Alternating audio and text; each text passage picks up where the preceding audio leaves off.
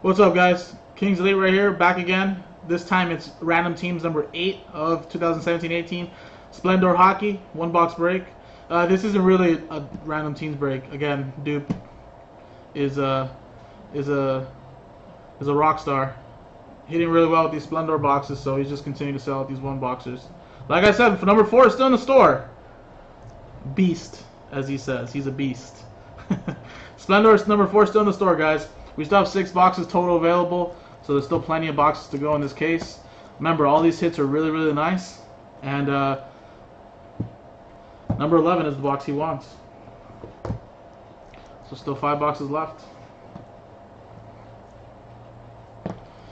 The, the man, the myth, the legend.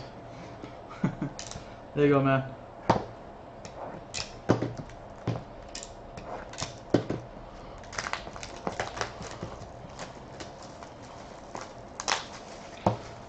Kind of want to see that premiere box now, but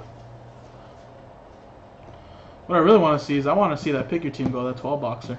I'm telling you guys, I know the pick your team is kind of risky with some of these bigger teams being $100 plus, but there's a lot of great teams that are available for 20s, 30s, 40s, 50s.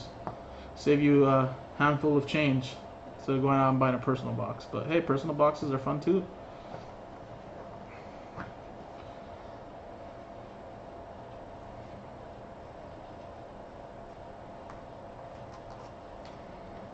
And look at this 26 of 27, Clayton Keller.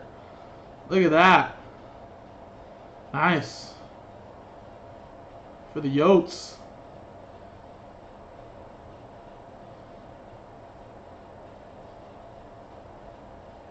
Nice three color patch as well. The fact that these are out of 27, that's, that's what amazes me. This is like base cards, right, in this product. Ah, out of 27. Dude saying he'll sell for the box price. but there you go, Kev. There you go, man. Another personal down for you. And I'll post another one in the store. If anybody else wants to try to do these as personals. It's the only way I'm selling personals, guys. Kings Elite. See ya. I mean...